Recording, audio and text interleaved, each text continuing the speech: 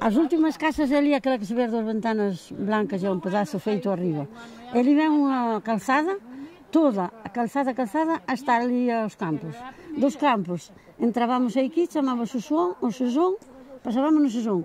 E é cando había moita auga, íamos abaixo, o río era máis largo, e pasábamos unhas espoldras, chamaba o Porta Bárcia, para pasar para cá.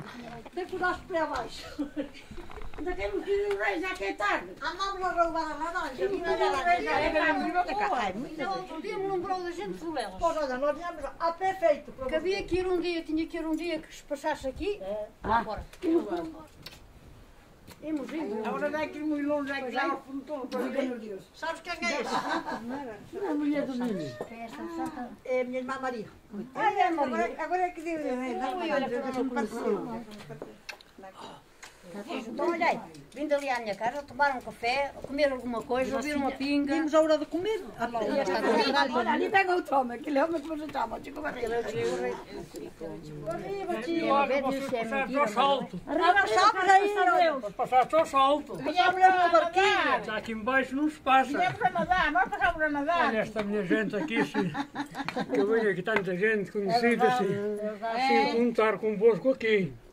O ir Várzea Olelas, o Várzea os Arcos de Valdevez, também dizer os Arcos. Leva ao mesmo tempo. Há 2 dois, quilómetros de um ou dois quilómetros de frente.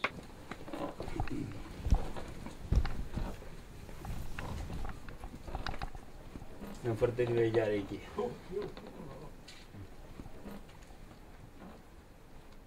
Eu sei, é.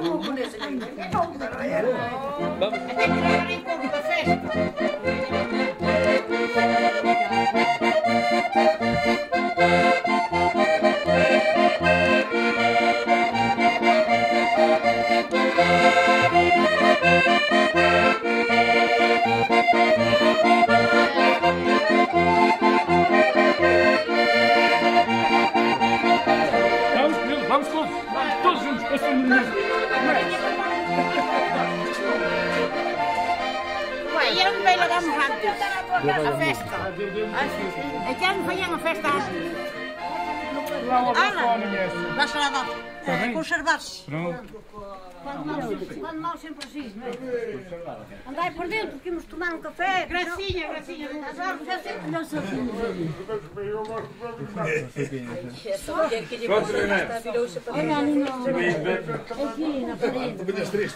A bandeira cheia de fitas e a moça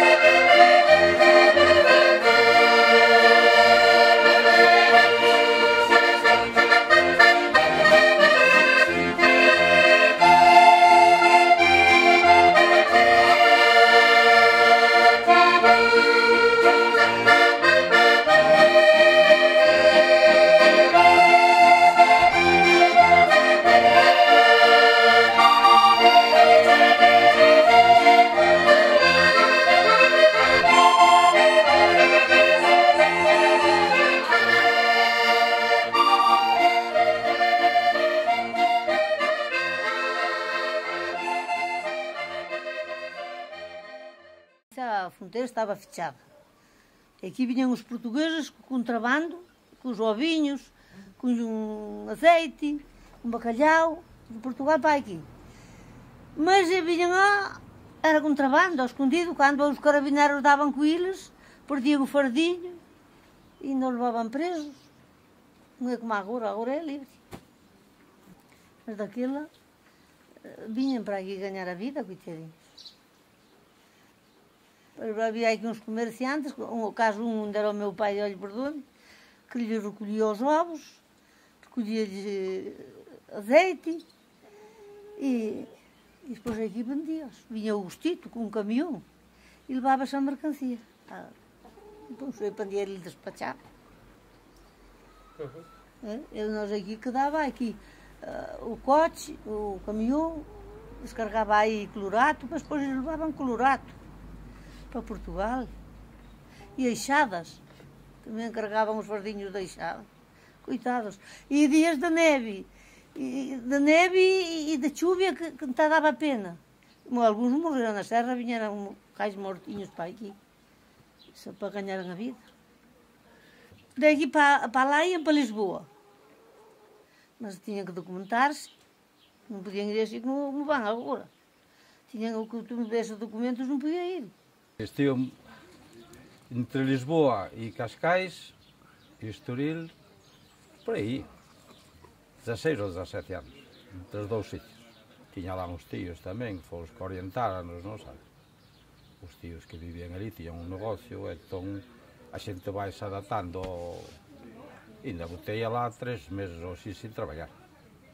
Había que arranjar a documentación, terse en día, porque íamos con pasaporte turista. E despois había que arranjar a residencia.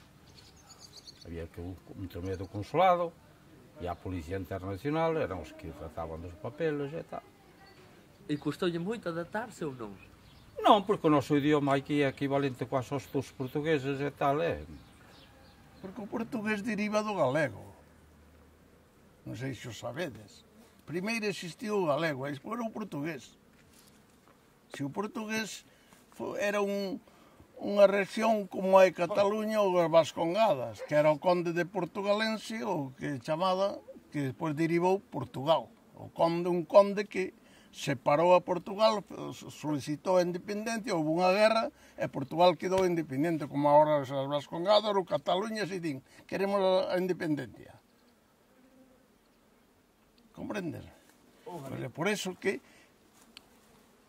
o que se di Portugal a, a palabra de portugués ou a, a, a fala portuguesa deriva do galego, é un derivado do propio galego. Incluso as Rías Baixas, a Pontevedra, pertenecía ao conde de Portugalense, de Portugal. Pero Despois houve un arreglo entre eles e Pontevedra separouse de Portugal, onde actualmente ainda din os portugueses Ai, Pontevedra, Pontevedra, quen ti vira non te dera. Claro, porque agora as rías galegas son as rías galegas. Eso sabémoslo ben, ou non? Antes era galego-portugués. Eles é que copian de nós. A nosa lingua era, era de aquí. Nós íamos hasta Braga a ocupar o sitio. O portugués fixeron despois a súa lengua, pero é a súa. Tamén o brasileiro e o portugués non é igual. Muitos não, é, não pensam, pensam que eu sou português. Tive que lhe mostrar a minha cartilha espanhola porque não acreditavam que eu era espanhol. Porque muitos dizem, não, tu és, tu és português, que falas mesmo português. Não, diz, não, eu sou de Olelas, eh, eh sou espanhol, sou galego. E, muitas vezes tive que tirar a cartilha para lhe mostrar que eu era espanhol, que não pensava que eu que estava, que estava, que lhe estava mentindo. Vá. Ah, algo de diferença temos. Ah, também se pronunciarmos igual, pois já não seriam eles portugueses, já nós espanhóis. seríamos todos portugueses ou todos españoles. Já cambiamos aquí dun pueblo a outro, cuanto máis iles que, que falan máis a maneira diles, estudian a maneira diles, é, é, é diferente. Ven as señoras aquelas, vamos pasear un poquito, venga, venga señora, vamos pasear. E eu digo a miña nora, dille que eu non vou. Ai, mi suegra dice que non quere ir. Ala, eu non quero, non quero falar o, o. Pois non fala portugués así. Nós Não, mas esse Lisboeta, esse bem falado é guapo, hein? O português bem falado, Onde se fala a isso, cuidado. Deu, é do Portugal, depois foram para Andorra. E agora anda limpando as casas. Bueno, pois essa fala que é uma maravilha. mas esse fala castelhano, Fala. fala, fala o, o andorrano, O andorrano. Fala, eu que sei. E fala aquí como nós, pronto. A que lle chaman un largo logo? A unha rúa?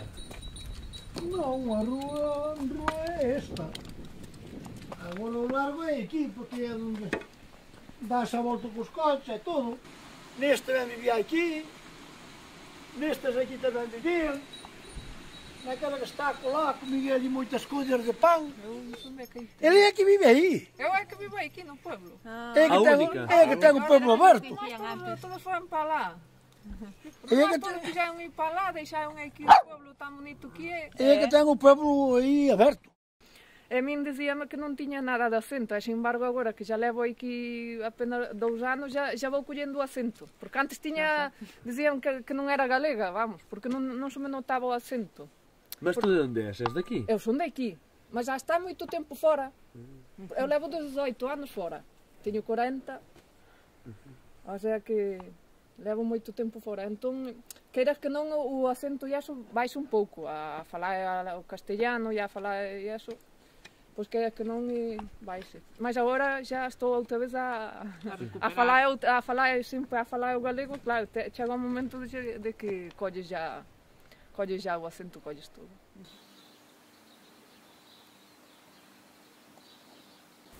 Botei um cravo de molho na beirinha de uma poça. Não há rapaz que mereça o coração de uma moça. E o coração de uma moça viradinho para trás. Não há moça que mereça o coração de um rapaz. Do Cormoza mandaban unha carta, tu vías as, as faltas que tiñas e ibas compondo o portugués a mellor maneira, que é portugués. Pero o galego de aquí nunca escribín porque daquela época non se non existía a escola de galego. Se tu queres son capaz de escribir mellor o portugués de aquí, o portugués co galego. Se me pon a escribir unha carta, pues, que sacaria melhor um portuguescanga, com eh, o galego de Iki, de Parece-me qualquer um, persona do, do, de Iki da minha dá isso, pô, eh, dá-lhe uma carta portuguesa, é lê, não há problema nenhum. Lê porque digo, o máximo das palavras, algumas palavras que têm alguma diferença, para não todas. Consigo me lidar conosco. E os meus pais pecaram. Pecaram porque tanto eu como a minha irmã mais velha, não nos mandaram à escola depois os mais novos.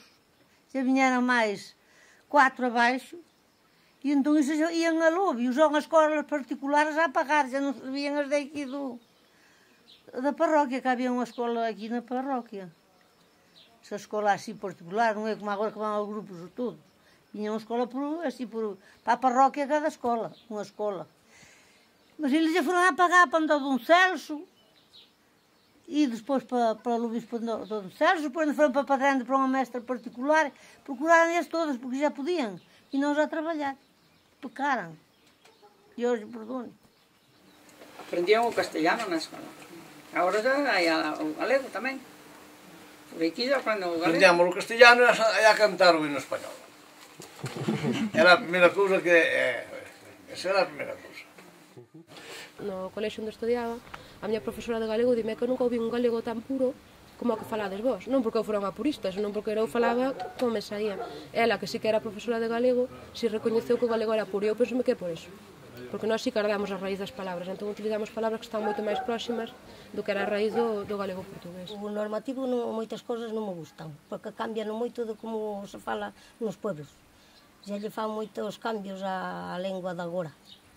O antigo antigo é máis tirando ao portugués que non tirando ao que din agora. Iso do xa, já, já, é já. E o xa é xa. O xa chamanllilos o xa, a tomar té. O chá? Pois aquí é un, é un chá. Nós vemos un chá. Pero a cousa é un té. Agora já moitas veces xa, xa se vai a boquinha de vai fazer un té.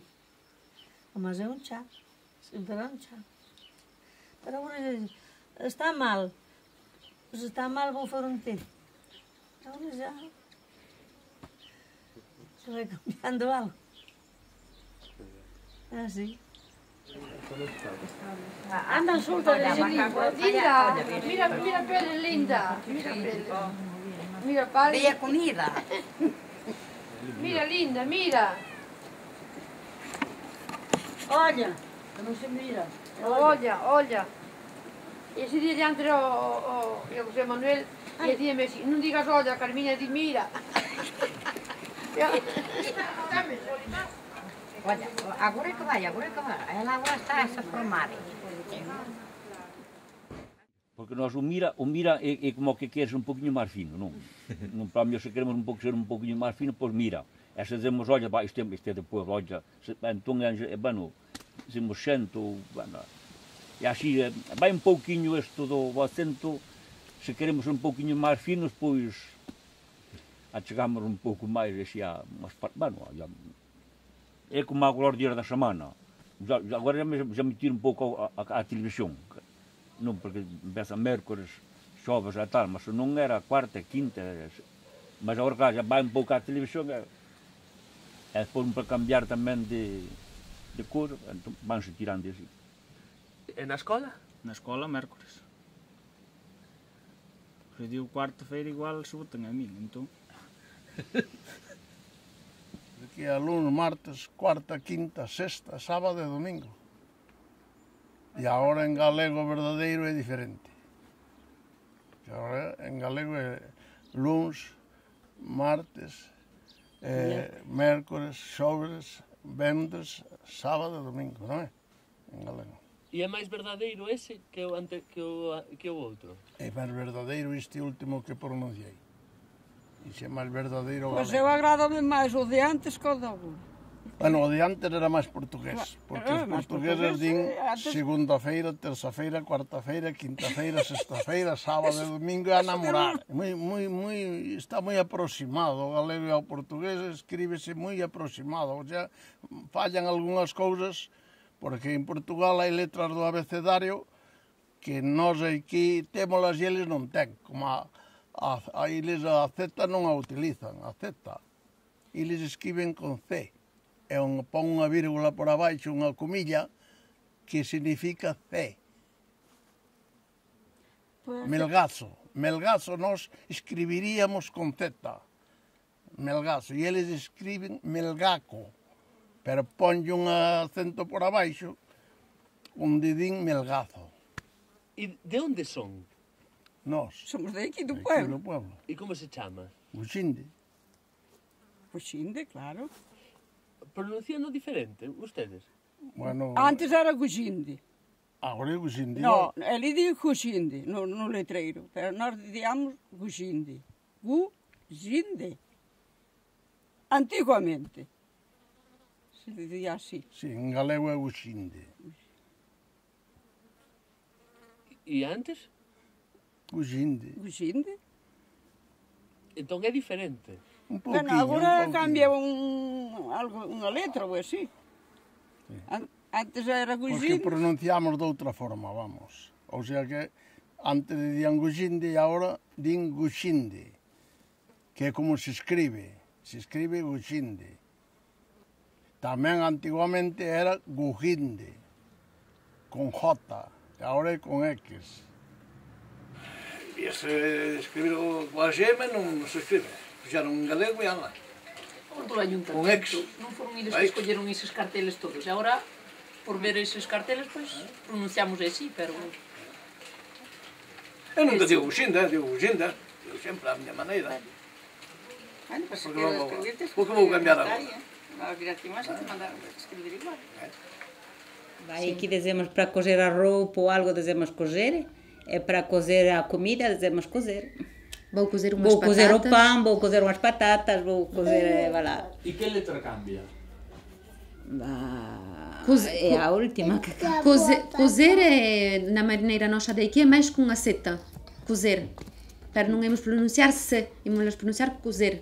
É, é qual é a outra palabra? Ah, oui, é coger, é es, es, decimos coger. De, quer dizer que nós não a sabemos escrever eh, já, porque nós prem, nunca É mais com um S, que imos pronunciar coger.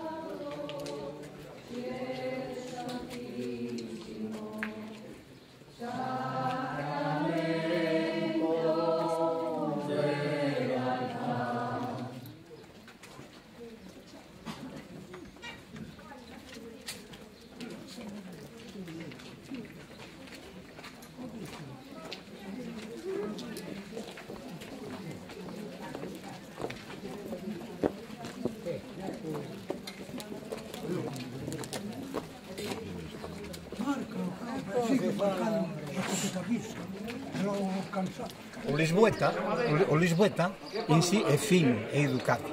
Por exemplo, tens aqui Braga, Porto, Figueira da Foz, Matosinhos, todo isto.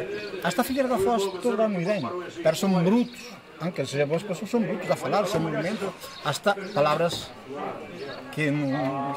Sen embargo, en Lisboa, porque eu estuve en Lisboa 20 anos, fico nas escolas hasta, hasta o bacillerato, despois abandonei. É claro, fino, no educado é fino a falar. Falas coisas que, como se estivesses a, a fazer caricia de uma pessoa, moi fina. É, é, non, non, fan, non fan brutos, un são um suave. Toda esa, esa, esa historia. E se vas O Ribatejo, Alentejo, Baixo Alentejo e o Algarve, entón, e aí já desbordamos. Nos, nos comprendes, porque o Ribatejo e o Alentejo falan oh, de outra maneira entendre custa, acústica, como o andaluz que traga palabras, o andaluz te traga eso, entonces, eh, eh, eh, en cuanto nos aquí, pues somos moi brutos, falamos, eso, eso, no, se, se pode... Na escritura non é igual. En cuanto tu ves España escríbese con a ñ, en Portugal escríbese con A, H, A non sabes, eh, eh, eh, é, é, é Nossa Senhora, Nuestra Senhora, a Nossa Senhora, que leva dous S já, já, já, já ao final. Palabras así, así que... Pero son moi, son, son moi... Por exemplo, aquí en España as, as calles e que son rúas, en Portugal son rúas non sabe, non, non, ten bastante diferencia, non escribiron é unha outra diferencia da, daquelas todas. Deberías escribir igual eh, na Galiza e en Portugal? En, entonces, en, entonces onde están os dicionarios, tanto dun como outro, da lengua galega. É que non se pode escribir da mesma maneira porque non somos españoles. Pero, onde ¿dónde?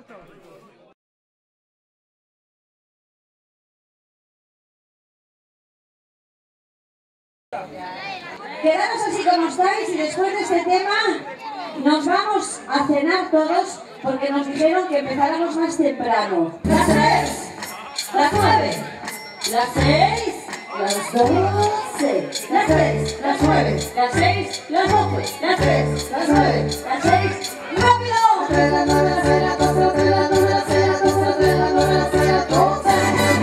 ¡Ay, alegría!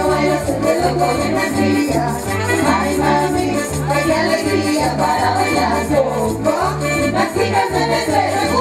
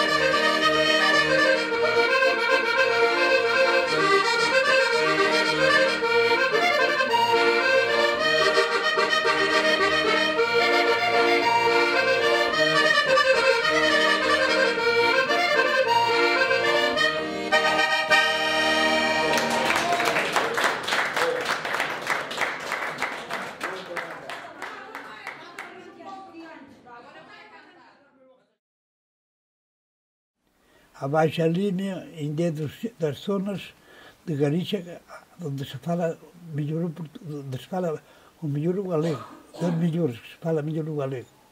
Hai poucas, na baixa línea. Se poña usted presente.